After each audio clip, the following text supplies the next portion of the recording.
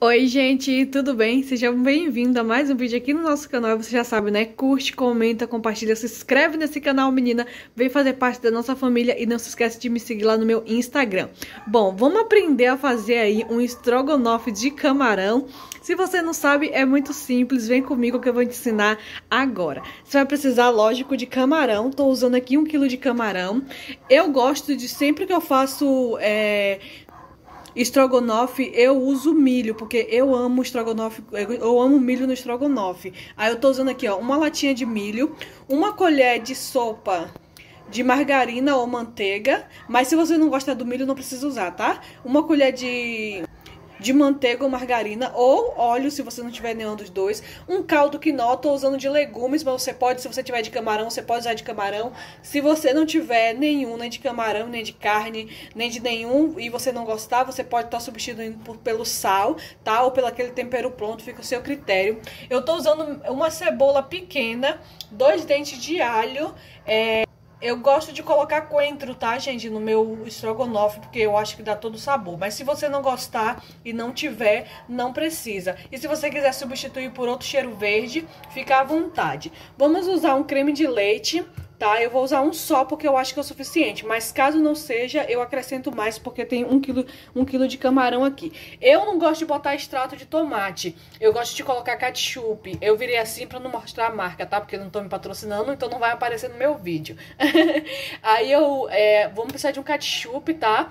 É, eu não gosto de botar molho de tomate, eu prefiro ketchup porque eu não gosto do, é, do molho muito branco, sabe? Eu gosto mais... É mais, mais pro rosé, assim, mais rosinha. Aí, se você não tiver o ketchup, você pode botar molho de tomate. E tem gente que coloca também mostarda, mas gente, tá uma coisa que eu não gosto, ainda bem que nem eu nem o Alexandre gostamos, é de é de mostarda. Então eu não uso, mas se você gostar e tiver na sua casa, você usa. Agora bora lá fazer esse estrogonofe. Espero que vocês gostem. Vem comigo.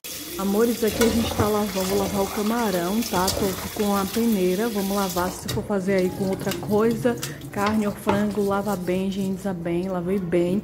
Aí eu vou estar tá usando limão, pimenta do reino e sal, que é só pra pegar um gosto, sabe? Isso enquanto a panela tá esquentando, eu tô cortando tempero, aí ela vai pegando aí um gostinho. Eu vou usar apenas um limão, que eu acho que é o suficiente, tá? E aí você usa aí o, o tempero que você gostar. Mas aqui no começo, só pra pegar um gosto mesmo, a gente vai utilizar sal, pimenta do reino e limão. Eu gosto muito de limão, mas se você não tiver limão, você pode estar usando vinagre também.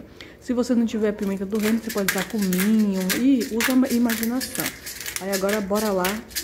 Ó, na panela aquecida, tá? Minha panela, quando eu tava conversando com vocês, a minha panela ficou aquecendo. Acho que até ficou quente demais. Vai colocar a manteiga ou a margarina ou óleo que você for usar, tá? Aí você vai vir com a cebola para dourar. Eu não sei vocês, mas eu gosto da cebola bem douradinha, tá? Ó, deu uma boa dourada. Aí você vai botar o alho. Eu sei que tem muita gente que não gosta de usar alho, então se você não gostar, você não coloca, tá? Aí deu só uma mexidinha, você vai adicionar aí o caldo quinó. Eu coloco o caldo quinó primeiro, gente, pra poder dar tempo dele dissolver, sabe? Pra ele não ficar duro que às vezes ele fica uns pedacinhos de caldo quinó, eu mesmo não gosto.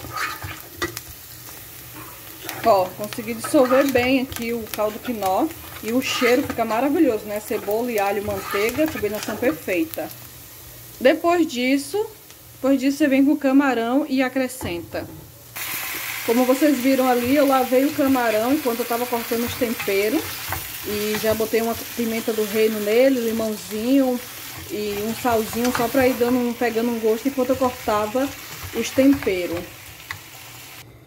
Dá aí uma boa mexida, certifica que o caldo quinó é, derreteu todinho, ó, o meu derreteu todinho, procurei, não achei. Aí você vai tampar e não vai colocar água nesse primeiro momento, tá? Você só vai tampar no fogo alto. Vou mostrar pra vocês, ó, cinco minutinhos. Por isso que eu falei pra vocês não pôr água. Olha o tanto, vocês viram? Eu não botei água nenhuma e olha o tanto de água que subiu.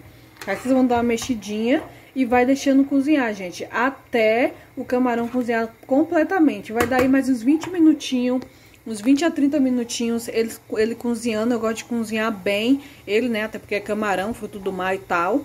Mas se você for fazer com carne ou com frango, é o mesmo processo que eu mostrei e não precisa botar água, tá? Deixa eu fechar aqui. Não precisa botar água, porque a carne ou o frango vai subir água, mas se você gosta com mais caldo, aí fica o seu critério. Aí você vai adicionando água até você achar que tá bom. Olha, gente, secou totalmente. Como eu disse pra vocês, eu gosto dele mais sequinho. Não gosto muito caldo, sabe? Aí agora a gente vai colocar, depois que tá bem cozido, a gente vai colocar o milho, tá? É, sem aquela aguinha do milho, é claro. E vamos adicionar também o cheiro verde. Mexer tudo. Olha que lindo que ele fica. Mexer tudo e aí você vai tampar por mais 5 minutinhos que é só pro coentro aí o cheiro verde que você colocou, é, dá o tempo de pegar o gosto, né? Ferveu, mais um pouquinho, só pra pegar o gosto, você joga o creme de leite, aí você vê se você vai jogar um ou dois, fica ao seu critério. Eu acho que pra mim aqui um tá o suficiente, tá? Aí você vem aí, gente, se vocês quiserem colocar agora requeijão, agora é o momento. Ai, meu Deus, se não tivesse um desastre, não seria eu, né? Agora é o momento, se você quiser colocar um requeijão, um requeijão cremoso, tá? Aí você fica ao seu critério, um requeijão cremoso. Se você quiser também fazer com creme cheese, bom, esse é o momento de você usar imaginação. Aí você mistura, misturou bem, aí você vê o ponto que você quer. Se você gostar mais vermelhinho, você bota o, o, o creme mais é, ketchup ou mostarda. Se você gosta mais amarelinho, você bota mostarda, tá? Se você gostar branco, você não bota nada, fica ao seu critério. Mas olha como ele fica Olha que lindo. E o cheiro, vocês não têm noção do cheiro. E aí você, querida, manda ver na sua imaginação. E daí, como eu falei pra vocês, você serve aí como vocês achar melhor. Olha como que bonito que fica. Um jantarzinho maravilhoso. Espero que vocês tenham gostado da receita. Um beijo no coração. Agora deixa eu aproveitar o meu estrogonofe. E é isso, um beijo e até o nosso próximo vídeo.